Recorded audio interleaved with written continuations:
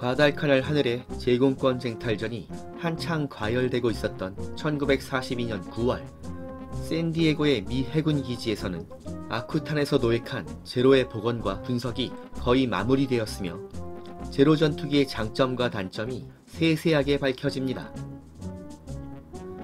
제로 전투기의 식별과 대응법에 대한 영상 자료가 제작되어 태평양 전선에 일선 부대에 배포되었으며 와일드캣으로 제로와 싸우는 경우에 전술에 대한 주의사항도 조종사들에게 제공됩니다. 하지만 제로 전투기에게 많은 단점이 있었다고는 해도 현재 남태평양 전선의 미군 전투기들은 제로와 정면 승부를 벌이기에는 성능상의 한계가 있었기 때문에 최일선에서 싸우고 있었던 조종사들은 하루빨리 고성능의 신형 전투기가 배치되기를 간절하게 바라고 있었죠. 이 무렵 미군은 신의 전투기들의 개발과 배치를 진행하고 있었는데 미 해군과 육군 항공대가 각각 몇 가지 종류의 신형 전투기를 선보이고 있었죠. 미 해군의 경우에는 이미 몇 년 전부터 차기 주력 전투기로 공을 들이며 개발을 진행했던 보트사의 F4U에게 큰 기대를 걸고 있었습니다. 주날개의 형상이 특징적인 역갈매기형이었던 이 신형 전투기는 플랫 휘트니사가 개발한 2000마력이 넘는 고출력의 공랭식 성형 엔진을 장착하게 됩니다. F4U 콜세어의 상징과도 같은 역갈매기형의 주날개는 강도를 강화시키면서 조종사들의 하방 시야를 향상시키는 효과도 있었죠. 해군기의 특성상 바다로 착수하는 경우를 가정했을 때 주익의 굴곡 부위가 먼저 물에 닿기 때문에 조종사에게 전달되는 충격을 흡수해서 안전성이 높다는 장점도 있었습니다.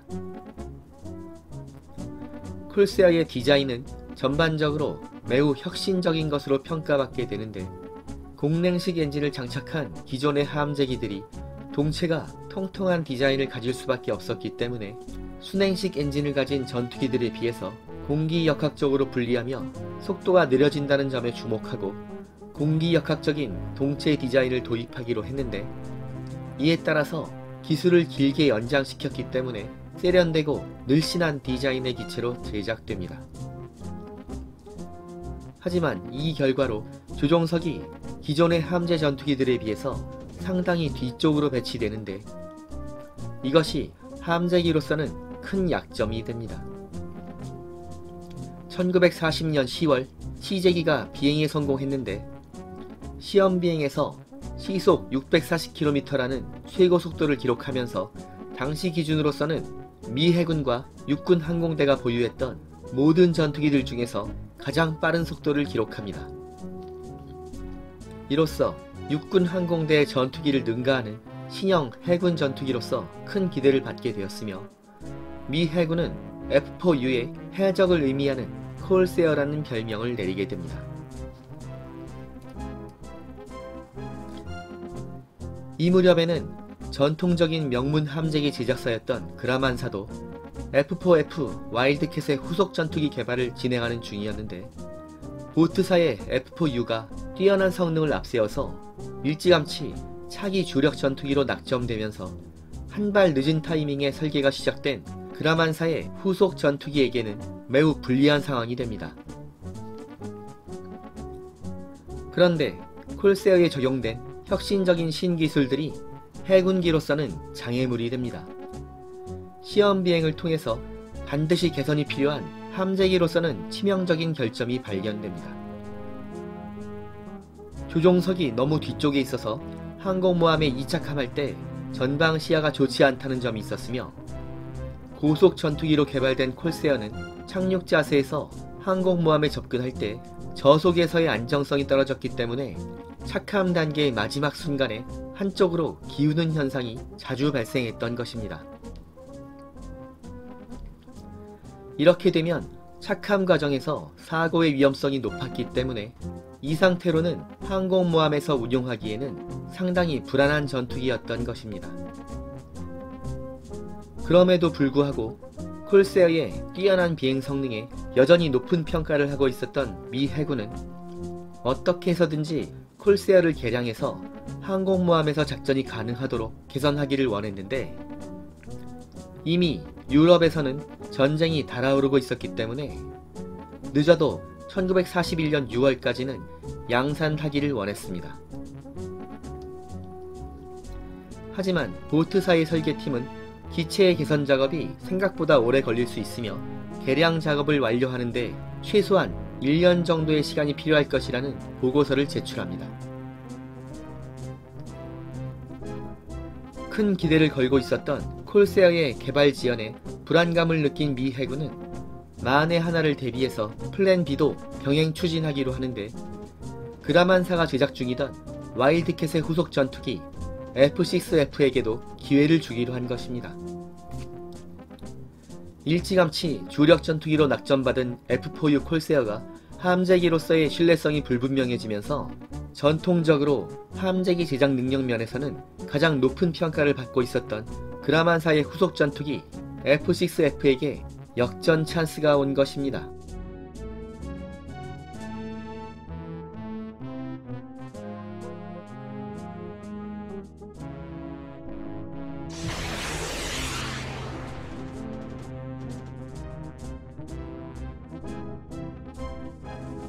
그라만사는 와일드캣의 후속 전투기의 개발 목표를 최고의 성능을 가진 전투기가 아니라 쓸만한 성능을 가진 전투기면서 항공모함에서 운용하는데 최적의 전투기로 개발하는 것을 목표로 했는데 와일드캣의 설계를 베이스로 해서 보다 발전시키는 형태로 개발을 진행했기 때문에 기술적으로 별다른 어려움이 없어서 개발은 빠른 속도로 진행됩니다. 이 전투기에도 플랫 휘트니사의 2000마력급 공랭식 엔진을 장착하는 것이 핵심 포인트였으며 이로써 와일드캣에 비해서 모든 면에서 뛰어난 성능을 가진 전투기로 만들어지게 됩니다. 동체와 주익의 형태가 와일드캣과 유사했지만 보다 공기역학적으로 설계되었으며 고속 전투기의 필수적인 저익 단엽기의 설계를 도입해서 미드윙이었던 와일드캣에 비해서 안정성이 높아집니다. 여기에 고속 비행 시에도 기체의 안정성을 유지하기 쉽도록 정면에서 보았을 때 약간 위로 꺾이는 역갈매기형의 주익을 가지게 되었죠. F6F의 조종석은 조종사의 시야 확보를 위해서 가능한 높이 배치되었는데 이로 인해서 하방 시야가 좋아졌으며 2차 함 시에도 시야가 좋은 편이어서 함재 전투기로서 적합한 것으로 평가받습니다. 와일드캣에 비해서 80% 이상 강력한 2000마력급의 엔진이 장착되면서 최고 속도가 시속 610km를 기록하게 되는데 와일드캣보다 시속 100km 정도 빠른 것이었으며 엔진 출력이 남아돌면서 중장갑이 적용되었기 때문에 기체의 방호력은 훨씬 좋아집니다.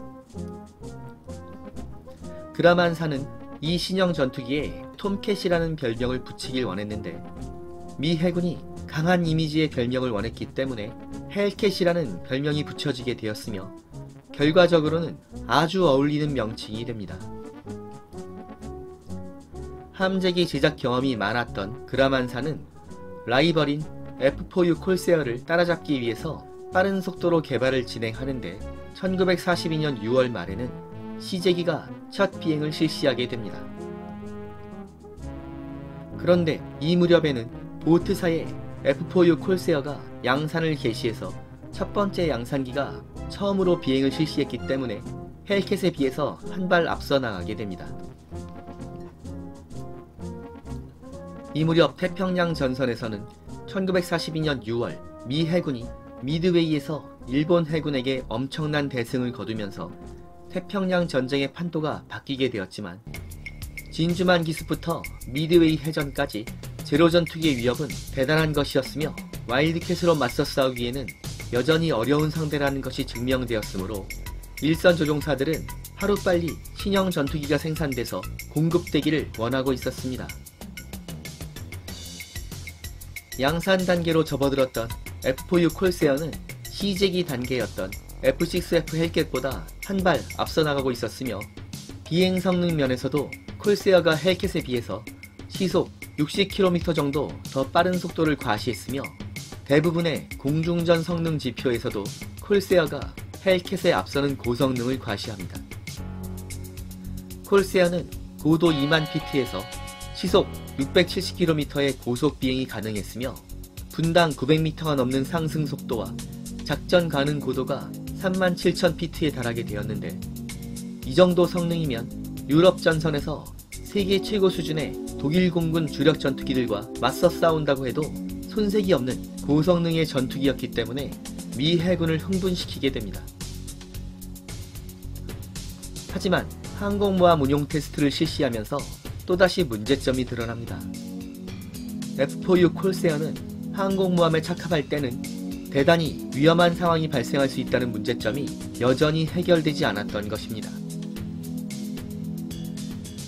항모에 착함하는 경우에 전방 시야가 좋지 않아서 조종사들이 곤란을 겪었으며 착함 시의 느린 속도에서 실속에 빠지기 쉬웠던 것입니다. 여기에 더해서 예상하지 못했던 문제가 하나 더 생기는데 급격한 각도로 착함하는 경우에 landing gear의 반동이 심해서 기체가 심하게 튀어오르는 현상이 있었으며 이러다 보니 arresting hook를 제대로 걸지 못해서 테스트 비행 중에 몇 차례의 사고가 발생하게 됩니다. 결국 미 해군은 F4U 콜세어의 비행 성능에는 높은 평가를 내리지만 항공모함에서의 운용 능력에서는 낙제점을 주었으며 이런 문제점이 해결될 때까지는 해군기로서 정식 채택을 거부하게 됩니다.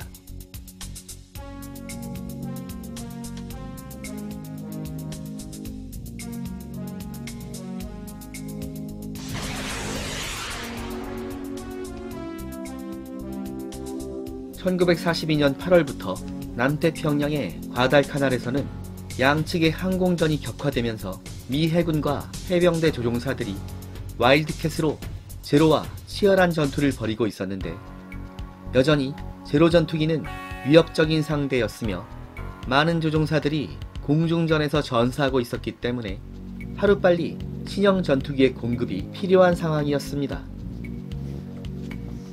이런 상태에서 F4U 콜세어의 문제점이 해결될 때까지 마냥 기다릴 수는 없었는데 이때 미 해군이 plan B로 생각하고 있었던 그라만사의 신예 전투기 F6F 헬캣이 구세주로 떠오르게 됩니다. 해군기 제작에 경험이 많았던 그라만사의 전투기답게 F6F 시제기는 미 해군이 실시한 다양한 상황에서의 항공모함 착함 능력 테스트를 아무런 문제 없이 통과해버린 것입니다. 비행 성능에서는 헬켓이 콜세어보다는 뒤지는 것으로 나타났지만 최고 속도가 시속 610km 정도로서 제로 전투기에 비해서는 시속 80km 정도 빨랐으며 강력한 엔진 덕분에 상승률이 매우 좋았고 최대 상승 고도에서도 제로 전투기를 확실하게 능가하는 것으로 평가된 것입니다. 물론 강력한 엔진을 장비한 육중한 전투기답게 강화 성능이 매우 뛰어났으며 주위기에 장비된 6정의 12.7mm 기관총에 무려 2,400발의 탄환을 탑재할 수 있었던 것입니다. 게다가 와일드캣에 탑승하던 조종사들이 기체 전환 훈련을 받을 때 아주 쉽게 적응한다는 장점도 있었습니다. 1942년 9월경에는 아쿠탄에서 노획한 제로 전투기의 장단점 분석이 완료된 상태였기 때문에 이를 바탕으로 미 해군은 F6F가 확실하게 제로를 잡을 수 있는 성능을 가지고 있는 것으로 평가된다면 즉시 채용하기로 하고 평가를 진행합니다. 결과적으로 F6F 헬켓 전투기는 콜세어보다는 비행 성능이 떨어지는 것은 맞지만 헬켓 정도의 성능이면 태평양 전선에서는 최전선의 함재기로서 아무런 문제가 없으며 제로 전투기를 확실하게 잡아낼 수 있는 고성능을 가지고 있다는 결론이 내려집니다. 이제는 더 이상의 여유가 없었기 때문에 미 해군은 즉시 그라만사에 이 헬켓 전투기의 대량 생산을 요구하게 됩니다. F6F 헬켓은 스펙상으로는 최고 수준의 전투기는 아니었지만 제로를 잡을 수 있는 최적의 함재기로 평가받으면서 F4U 콜세어를 밀어내고 미 해군의 선택을 받게 된 것입니다.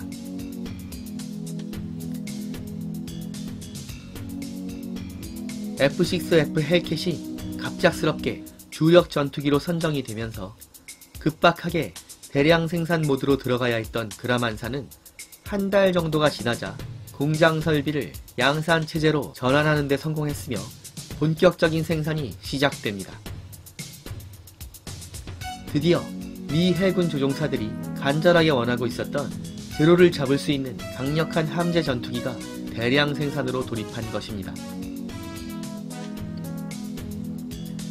하지만 1942년 9월을 기준으로 헬켓 전투기가 최전선에 본격적으로 배치되려면 아직은 몇 개월은 더 필요할 것으로 보였으며 와일드캣으로 제로와 맞서며 전선을 유지하고 있었던 팩터스 비행단의 해병대 조종사들은 크리스마스 때까지 기다려도 신형 전투기를 받지 못할 것이라며 실망하게 됩니다.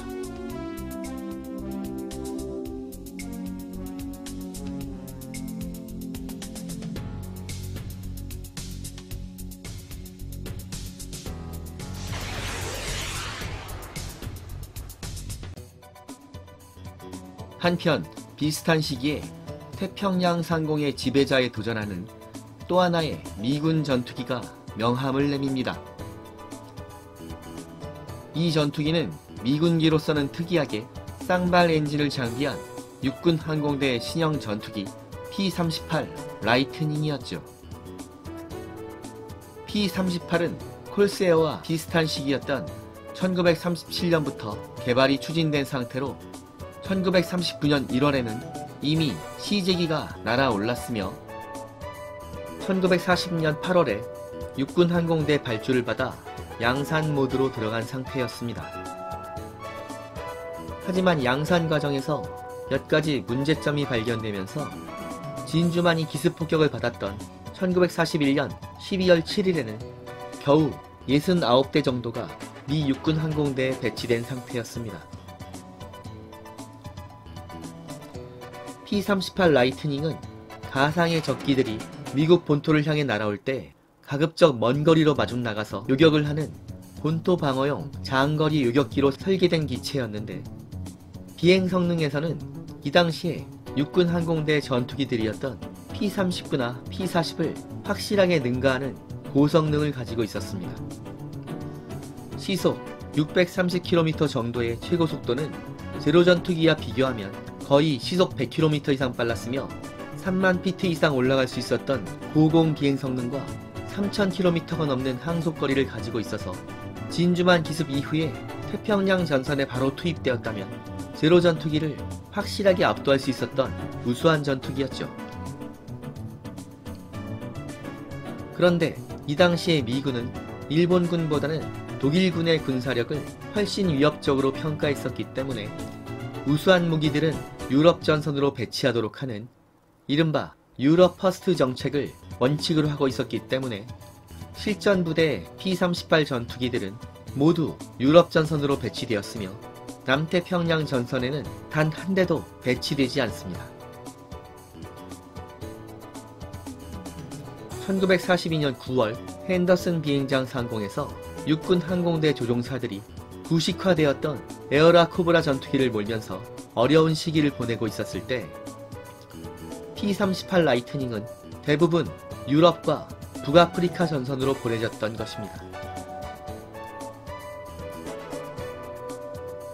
몇 개월이 지나면서 유럽 전선에는 미군이 야심차게 개발했던 신의 전투기 P-47 썬더볼트가 양산 체제로 들어가서 본격적으로 투입됩니다. P-47은 독일 전투기와의 교전에서 P-38보다 뛰어난 것으로 평가받았으며 결국 P-38은 최일선의 전투기로서는 밀려나게 됩니다. 이렇게 유럽 항공전의 변화가 오면서 미군은 P-38 라이트닝을 남태평양 전선으로 본격적으로 투입한다는 계획을 세우게 됩니다. 하지만 아무리 빨라도 두세 달 정도의 시간이 더 필요했기 때문에 캡터스 비행단의 육군 항공대 조종사들이 라이트닝에 탑승하려면 크리스마스를 기다려야 했었죠. 이렇게 되면서 1942년 9월 거세게 불타오르던 과달카날의 하늘에서 캡터스 비행단의 조종사들은 소문만 무성한 신형 전투기들을 구경도 해보지 못한 상태로 여전히 와일드캣과 에어라 코브라 전투기에 탑승해서 내습하는 일본기들과 맞서 싸워야 하는 상황이 되었던 것입니다.